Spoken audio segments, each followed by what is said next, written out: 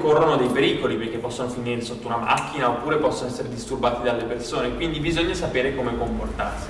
Eh, in particolare eh, avrete magari sentito la storia dell'agosto scorso di quella femmina con tre cuccioli che era entrata eh, in un paese di notte e è stata inseguita in macchina per fare delle foto, per fare dei video quindi ha perso due cuccioli, poi è riuscita a recuperarne uno, però il terzo non è stato più trovato, quindi ha perso un cucciolo perché le persone volevano fare le foto. Eh, bisogna quindi comportarsi bene, rimangono degli animali selvatici, non bisogna rincorrerli con il cellulare, non bisogna rincorrerli in auto. Per esempio io ho fatto questa fotografia dall'auto, ma l'auto era ferma con i fari spenti, era spenta la macchina, quindi neanche rumore, io non sono sceso dalla macchina e ho scattato attraverso il parabrezza. Infatti l'immagine originale non ritagliata mostra proprio la sagoma del parabrezza nella fotografia, quindi attraverso il vetro per non disturbare e si vede anche dalla camminata dell'orso che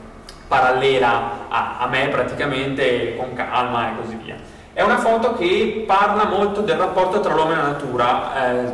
alla terza potenza, perché c'è un orso all'interno di un vicolo, ok. Poi ci sono qua dei poster che parlano di ecoturismo, quindi è un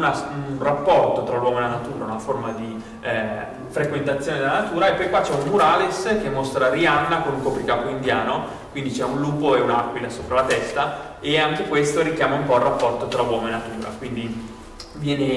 eh, in qualche modo eh,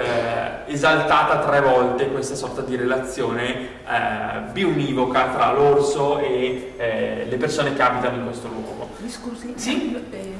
lei è